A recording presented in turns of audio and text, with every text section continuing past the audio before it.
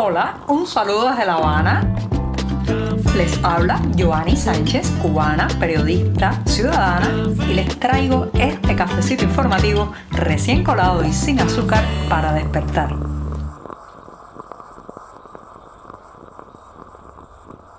Estoy de regreso después de la pausa de sábado y domingo en este lunes, que además ha amanecido soleado, fresco, pero un poco más cálido que los días anteriores aquí en la capital cubana y en el que comenzaré hablando además de las recetas, las medicinas para la maltrecha economía cubana y sobre todo para el tema de la inflación. Así que este 6 de diciembre de 2021 el tema principal serán las finanzas, el bolsillo y los precios. Pero antes de decirles los titulares, voy a pasar a servirme el cafecito informativo que escucharon al principio del programa. La cafetera estaba colando, así que lo pongo en la taza. Lo voy a dejar refrescar aquí a mi lado unos segundos. También les advierto que si escuchan mi voz un poco rara o como la voz tomada, no se preocupen, es que estoy pasando por un resfriado que afortunadamente ya ya estoy saliendo de él. Les avisaba al inicio del programa que iba a empezar hablando de la inflación, ese monstruo que devora y devora los bolsillos de los cubanos, la caída en picada del peso nacional y la fórmula que propone el oficialismo, ¿sí? Una cucharada de la misma medicina que ha fracasado hasta ahora nada más y nada menos que seguir controlando los precios. En un segundo momento del programa pasaré a otra cuestión y tiene que ver con el pesimismo. Han ocurrido algunos eventos en, la disidencia, el sector crítico cubano y muchos se escudan en el pesimismo que, señoras y señores, es un freno para el cambio democrático en esta isla. Mientras tanto, hay un gran malestar entre el personal sanitario, los profesionales de la salud en Cuba, porque este mes de diciembre se les entregará un estímulo en metálico, pero muchos de ellos no podrán cobrar ni un solo peso de ese añadido porque ya les diré los detalles de quiénes sí y quiénes no. Y por último, recomendarles un festival de cine que se puede disfrutar a través de internet. ¿sí? El Festival de Cine de Instar, esta organización, este ente independiente que tiene una parrilla, una variedad de ofertas para, reitero, disfrutar a través de la pantalla de la computadora o del teléfono móvil. Anunciados los titulares y servido el café, pues ya el lunes y la semana pueden comenzar. Si eres de los que te gusta estar bien informado, síguenos en 14ymedio.com. También estamos en Facebook, Twitter, Instagram y en tu WhatsApp con este cafecito informativo.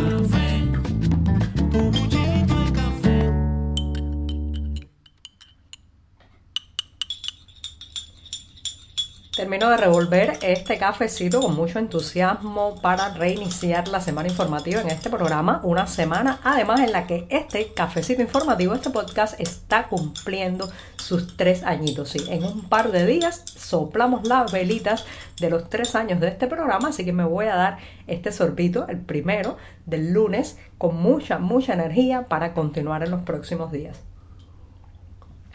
Después de este primer buchito amargo y siempre, siempre necesario, paso a la primera cuestión del día. Ya les decía que tiene que ver con la inflación, las fórmulas para remediarlas, sí, las medicinas económicas y financieras que propone el oficialismo para intentar eh, pues disminuir el efecto de este monstruo enorme que se ha ido comiendo el poder adquisitivo de las familias cubanas, devaluando su moneda, eh, agujereando literalmente sus bolsillos y haciendo desaparecer muchos productos de sus mesas, de sus cocinas y de sus casas. Lo cierto es, señoras y señores, que el empecinamiento del régimen cubano en seguir aplicando viejas fórmulas que está más que probado no funcionan y lo que hace es agravar el problema, es ya una patología prácticamente este empecinamiento. Imagínense por un momento que usted tiene una enfermedad, o vamos a decirlo, yo misma que estoy ahora resfriada, imagínense que empiezo a tomar un remedio, un medicamento para aplacar los síntomas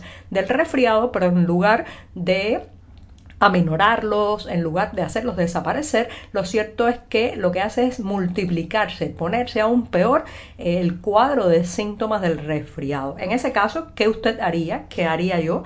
Pues claro, suspender esa medicación, suspender ese supuesto remedio y optar por otra solución y por otro camino. Eso es el ABC de la vida, prácticamente aprender, sacar una experiencia de qué funciona y qué no y para la próxima hacerlo mejor. Bueno, pues no, esto no funciona así, señoras y señores, con la Plaza de la Revolución de La Habana, que nos utiliza a nosotros como conejillos de India, destrozando la economía aún más, si puede estar más destrozada la economía en este país. Eh, ahora se ha publicado en el diario oficialista Granma, órgano del Partido Comunista, un texto bajo el título Cómo se infla la inflación, en que tocan este peliagudo tema. Eh, incluso reconocen algunas cifras que ya se habían dado del oficialismo y que creo se quedan todavía muy por debajo de la realidad económica en esta isla y es la inflación que ha llegado a un 6.900% y también el crecimiento de los precios del sector estatal de los servicios y lo que se logra en las industrias nacionales que la mayor parte están controladas por el Estado que se han elevado también varios varios, varias veces eh, en relación con lo que, eh, con el panorama que tenían estos costos y estos precios hace dos años o un año, incluso antes de la llamada tarea ordenamiento que comenzó el pasado primero de enero. Lo cierto es, señoras y señores, que cuál es el remedio, cuál es el medicamento, el fármaco para no un resfriado, porque esto no es un resfriado económico, esto ya es una metástasis, lo que tiene este país desde el punto de vista de la inflación y la, devaluación del dinero nacional, bueno, pues lo que proponen es, siéntense si están de pie, más control de precios. La vieja medicina, el viejo remedio que ha probado que no funciona. Cada vez que imponen camisas de fuerza, cada vez que topan precios, ponen tarifas máximas a los productos, lo que hacen es, bueno, ya saben, el beso negro, el beso de la muerte de la economía y los mercados, porque entonces esos productos se terminan yendo a paso galopante y a toda velocidad hacia el mercado informal. Cuando usted, un productor, le dice hasta qué punto, hasta qué, hasta qué eh, cantidad puede vender sus cebollas, su litro de leche o, por ejemplo, su dulce de guayaba, pues este productor que saca cuentas y se se da eh, rápidamente, o sea, cae rápidamente en la evidencia de que no podrá sufragar con ese precio las materias primas, el trabajo, las inversiones en su sector, bueno, pues simplemente se va al mercado negro, al mercado informal a vender sus productos sin restricciones. De manera que estamos otra vez ante el mismo panorama de aplicar una solución que en lugar de aliviar los efectos de la inflación va a empeorarla. Esto no tiene que uno ser experto para darse cuenta. Lo hemos visto cada día de nuestra existencia de los últimos años, incluso de las últimas décadas. Así que la medicina, el fármaco, la solución que propone el oficialismo cubano es controlar controlar y supervisar, incluso auditar. Ya ustedes saben, aguántense que para el año que viene aquí no van a quedar ni ajos, ni limones, ni guayabas. Estamos contigo de lunes a viernes a media mañana, cuando el café se disfruta mejor. Comparte conmigo, con tus amigos e infórmate con este cafecito informativo.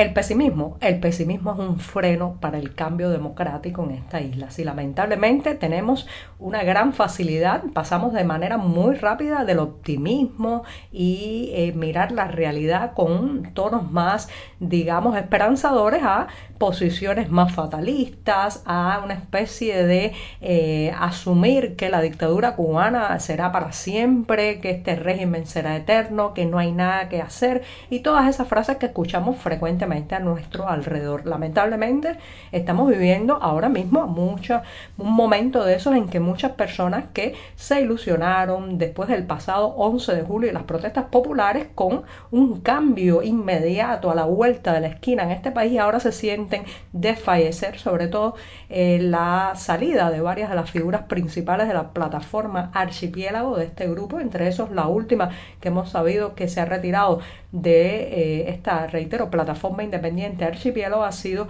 la activista Sailí González. Bueno, pues estas salidas eh, algunas personas las interpretan en tonos, eh, digamos, pesimistas, creen que el grupo se está desarmando, que esta iniciativa que había calado, sobre todo en gente muy joven, en gente muy diversa, ya está llegando a su final y es lamentable que ese pesimismo termine pues convirtiéndose en un elemento que aleja el cambio democrático en Cuba. Así que apartemos el pesimismo, no nos dejemos llevar por esas corrientes de no hay nada que hacer. Siempre, siempre podremos encontrar una forma de influir en que llegue cuanto antes esa Cuba del futuro, esa Cuba donde quepamos todos.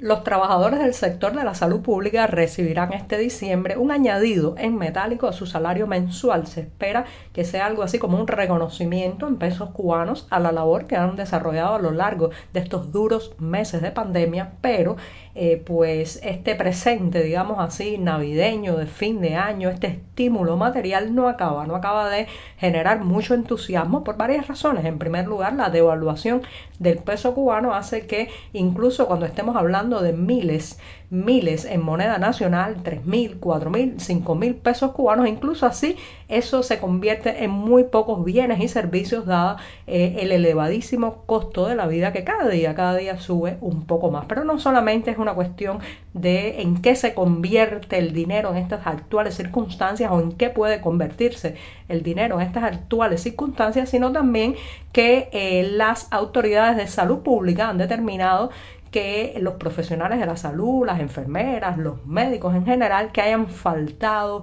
que hayan tenido, por ejemplo, una licencia por cuestiones de salud, no van a recibir el estímulo. ¿Y quienes están en ese grupo damnificado que no podrá tener el añadido eh, a su salario este mes de diciembre, pues muchas mujeres que tuvieron que quedarse en sus casas cuidando niños pequeños porque no estaban funcionando los círculos infantiles o porque no había ninguna otra manera de eh, tener bajo la custodia a sus pequeños. Así que la penalización para los que se enfermaron, la penalización para los que tuvieron que cuidar un hijo, la penalización para los que faltaron por cualquier tema de salud o personal es que no recibirán el estímulo en metálico. Y me voy despidiendo en este programa de lunes con una pincelada cinematográfica. Si el Festival de Cine Instar está en su segunda edición que comenzó el pasado 4 de diciembre estará también hasta el próximo día 11. Lo podrán disfrutar especialmente a través de internet. En la cartelera del diario 14 y medio hay un enlace para que puedan estar al tanto de eh, pues la parrilla cinematográfica que ofrece este segundo festival de cine en Instar con 11 ciclos temáticos, una retrospectiva dedicada a Manuel Marcel y presentaciones especiales. Hoy es todo. Te espero mañana a la misma hora. Síguenos en 14medio.com. También estamos en Facebook, Twitter, Instagram y en tu WhatsApp. No olvides, claro está, compartir nuestro cafecito informativo con tus amigos.